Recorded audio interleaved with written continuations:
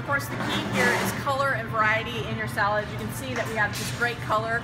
We do have three new salads that we're launching. We've got our Thai um, carrot slaw, which is made with an organic rainbow carrot. We also have our kale Caesar and our cranberry freekeh, which is made by with a local cranberry trio from Cape Blanco.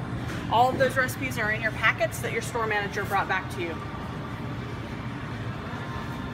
So the key to the holidays is really about the sides. We sell in the side dishes for the holidays. We've got our twice baked potatoes that are very, very popular, especially in December as you're entertaining. And then of course you've got all your fun vegetable sides like your roasted squash, your Yukon Gold mashed potatoes, your roasted turkey. It's all about how fresh they look and how big the display is. Um, I can tell you right now that we are selling a ton of these sides out of the entree case every day people are liking the fact that A, they're comfort food, they're quality, and they taste good, and uh, the presentation is beautiful.